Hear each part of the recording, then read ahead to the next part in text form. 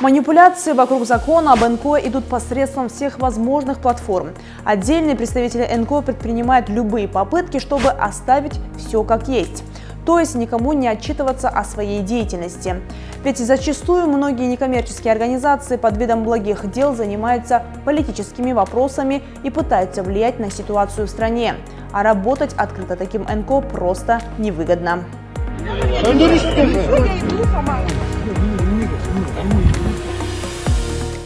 Назовем лишь несколько фамилий правозащитниц, которые всегда выступают против. Рита Карасартова, Азиза Абдирасулова, Динара Ошурахунова. Многие граждане знают их как организаторов митингов на всевозможные темы. Рита Карасартова отличилась, организовав в Кыргызстане первый марш за права ЛГБТ в 2019 году.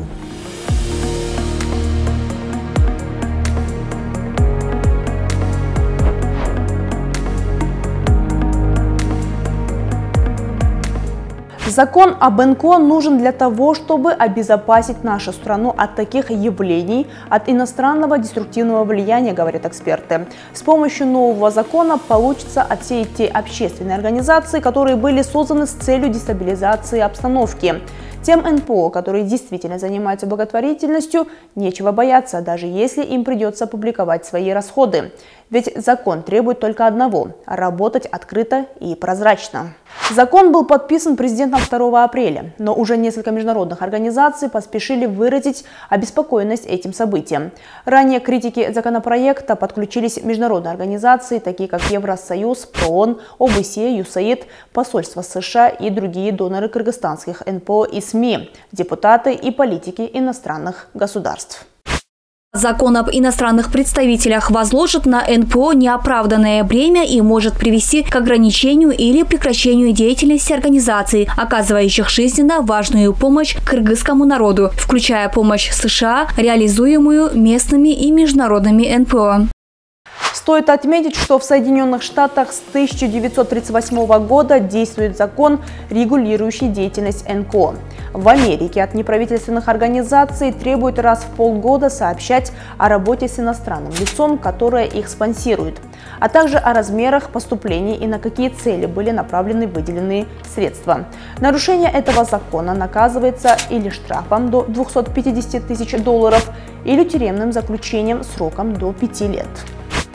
Почему неправительственные организации в развитых западных странах регистрируются в Министерстве юстиции, в налоговой службе, открывают счет в банке и не делают того же, когда приходят к нам? Или мы второсортная страна? Нет, это не так. Мы больше не допустим подобных сомнительных действий. Ну вот сложно себе представить, чтобы в США открылись, допустим, а, НПО Кыргызстана, да, наше бы, допустим, правительство их финансировало, я думаю, что у Госдепартамента США тоже бы возникли вопросы, а что, чем, собственно говоря, эти американцы занимаются, да? А поэтому всегда, когда мы говорим, да, надо а, представлять сразу другой вариант. В свою очередь, этот закон, наоборот, окажет помощь донорам. Они наглядно смогут посмотреть, на какие цели направляются выделенные ими финансы. Ведь некоторые НКО занимаются отмыванием денег – Говорят, что организовывали круглые столы и тренинги, реализовывали проекты, но при этом большую часть средств направляли на личные интересы.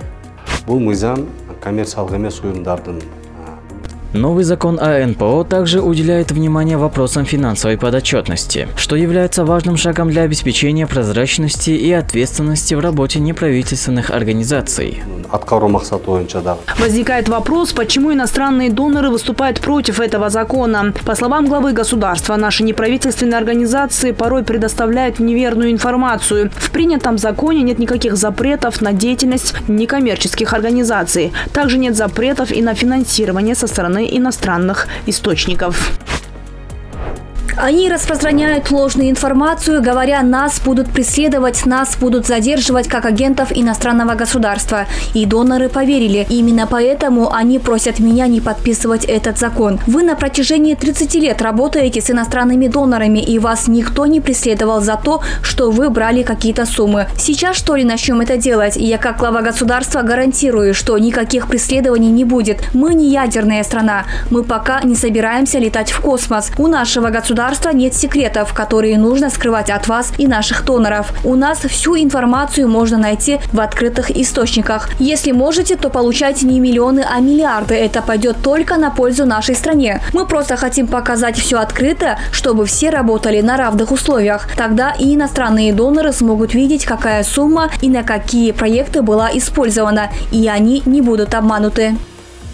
Закон вступит в силу в течение 10 дней после подписания. В течение месяца после этого Кабинетом министров будут внесены дополнения, направленные на упорядочение деятельности НПО. Поскольку заявление президента касается закона, связанного с некоммерческими организациями, выполняющими функции иностранного представителя, то эти слова так и следует понимать. Речь идет о том, что до настоящего времени некоммерческие организации, выполняющие функции иностранного представителя, не регистрировались именно в этом качестве. После вступления в силу закона Министерство юстиции начнет регистрировать некоммерческие организации, выполняющие функции иностранного представителя, и будет соответствующий реестр.